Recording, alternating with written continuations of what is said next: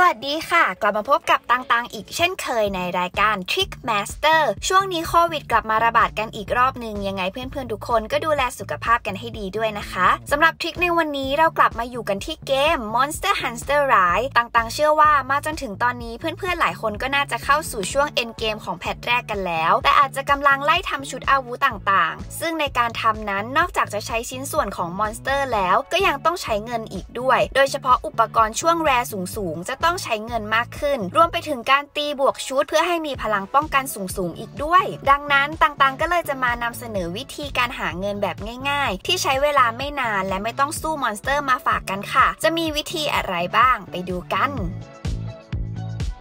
สำหรับการเตรียมตัวนั้นนะคะ หลักๆก็จะเป็นการหาอุปกรณ์สวมใส่ที่ทำให้เราติดสกิล Geologist Level 3 และ Botanist Level 4 เนื่องจาก skill Geologist Level 3 เนี่ย จะทำให้ทุกครั้งที่เราขุดแร่จะได้เพิ่มอีก 1 ชิ้น ส่วน Botanist Level 4 จะทำให้ทุกครั้งที่เราเก็บพืช ผลไม้มเมล็ดมแมลงและเห็ดต่างๆ เพิ่มได้อีก 1 ชิ้นค่ะ ซึ่งถ้าง่ายสุดๆ ก็สร้างชุด Letter S ส่วนหัว มือและเท้าก็จะได้ Geologist Level 3 พอดี ส่วน Botanist ก็หาจากเสื้อ Letter S กางเกง Chainmail S กับสร้อยอีก 2 เลเวลก็จะพอดีพอดี หรือถ้าใครมีของเยอะหน่อย ก็อาจจะไปทำเพชรใส่ให้ครบก็ได้เช่นกัน แต่เน้นไปที่ Geologist Level 3 เป็นหลักก่อนนะคะ เมื่อเตรียม skill เสร็จแล้วเราจะไปขุดแร่กันในแผนที่แบบ High Rank ค่ะ ซึ่งเราไปทำ quest แบบ Exploration Tour เป็นหลัก เนื่องจากความอิสระในการสำรวจแผนที่ แต่เดี๋ยวก่อนค่ะ เพื่อความคุ้มค่าในการหาเงินแบบรวดเร็ว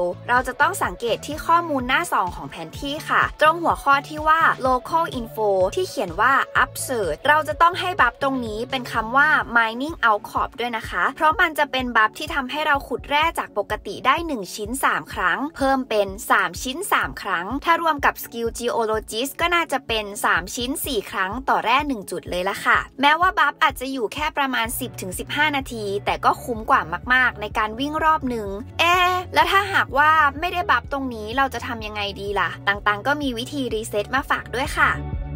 วิธีที่จะเปลี่ยน buff แผนที่ก็คือออกไปเล่น quest ปกติ1 quest ค่ะ จะเป็น quest อะไรก็ได้ ดังนั้นต่างๆ จะแนะนำเป็น quest หมู่บ้าน 1 ดาว ที่ชื่อว่า Roly Poly Lantern ที่จะให้เราเก็บพืช Fire Lantern 8 ชิ้น เพื่อจบ quest ตรงนี้แหละค่ะ ที่เราจะใช้ skill Botanist เพื่อทำให้เราเก็บ Fire Lantern ได้ครบ 8 ชิ้นไวขึ้นนั่นเอง พอจบ quest ปุ๊บก็แวะกลับไปดูว่า แผนที่ที่เราต้องการจะไปเก็บแร่นั้นขึ้นบัฟ Assert Mining Outcrop หรือยังถ้าขึ้นแล้วก็สามารถเข้าไปขุดกันได้เลยค่ะสำหรับแผนที่ที่ต่างๆ แนะนำในการขุดแร่หาตังนะคะ ก็คือ Lava Caverns ค่ะ เนื่องจากมี route วิ่งที่ง่าย และอาจจะได้พบกับสัตว์พิเศษด้วย ส่วนวิธีการวิ่งก็เริ่มมาให้เราไต่เขาระหว่าง map 4 กับ 5 ทางด้านบนนี้จะมีทั้งหมด 2 จุดด้วยกันค่ะ จุดแรกจะอยู่ใกล้ๆลาวาริมเขา จุดที่ 2 จะอยู่ทางด้านบนของจุดแรกนิดนึง หลังจากนั้นให้เรากระโดดลงด้านขวาใกล้ ๆ กับนกบัฟริมเขาด้านซ้ายจะมีอีกจุดหนึ่งให้ขุดค่ะ หลังจากนั้นให้วิ่งขึ้นแมป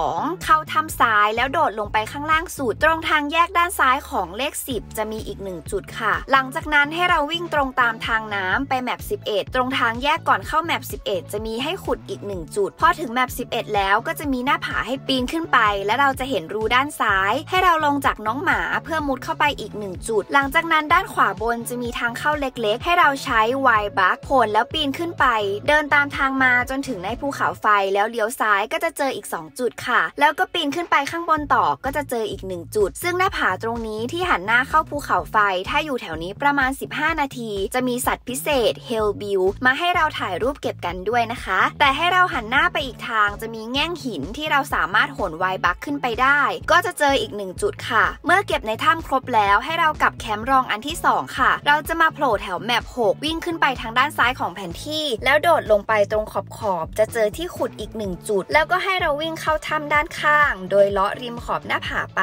พอถึงริมก็ให้โดดข้ามฝั่งไป แล้วปีนขึ้นไปข้างบนอีกทีหนึ่งก็จะเจออีกหนึ่งจุดค่ะ หลังจากนั้นให้เราเดินหน้าไปต่ออีกนิดหน่อย ตรงทางเชื่อมระหว่างแมป7ถึง8โดดลงไปข้างล่างนิดนึงก็จะเจอแร่อีกหนึ่งจุดค่ะ พอขุดเสร็จเรียบร้อยก็ให้เราบินกลับแคมป์หลักแล้วทำวนอีกรอบ ซึ่งแร่ที่เราเคยขุดไปแล้วก็จะเกิดใหม่พอดี ให้ทำจนกว่า buff ขุดแร่จะหมดค่อยกดจบ quest นะคะปกติจะขุดแร่ได้ประมาณ 3 รอบ ถ้าแร่ในกระเป๋าเต็มก็สามารถเข้าแคมป์เพื่อไปเก็บแร่ก่อนได้ค่ะ จะได้ไม่เสียฟรี พอจบ quest กลับออกมา เราก็เอาแร่ที่ขุดได้ทั้งหมดมาขายเลยค่ะ หรืออาจจะเหลือไว้หน่อยเพื่อทำอุปกรณ์อื่น ๆ บ้างก็ยังได้ เท่านี้เราจะได้เงินหลายแสนในเวลาไม่กี่นาที ต่างๆ เคยได้มากสุดรอบนึงก็4 0 0แสนเกือบ5 0 0แสนเลยละค่ะ มีเงินเอาไปอัปเกรดชุดทำของอื่น ๆ ใส่สบายๆไปอีกสักพักเลย จริง ๆ ใครมีแนววิ่งในแผนที่อื่นก็สามารถทำได้เช่นกัน แต่ต่างๆชินกับ Lava Cavern ไปแล้ว ก็เลยแนะนำเป็นแผนที่นี้กันค่ะ วันนี้หมดเวลาของต่างๆใน Trick Master แล้ว ใครที่ไม่อยากพลาด trick ดีๆ แบบนี้ก็อย่าลืมกดไลค์ กด subscribe จะได้ไม่พลาด trick เด็ด ๆ ในคลิปต่อไป ว่าแล้วก็ขอตัวไปฟาร์มก่อนละกันนะคะ สวัสดีค่ะ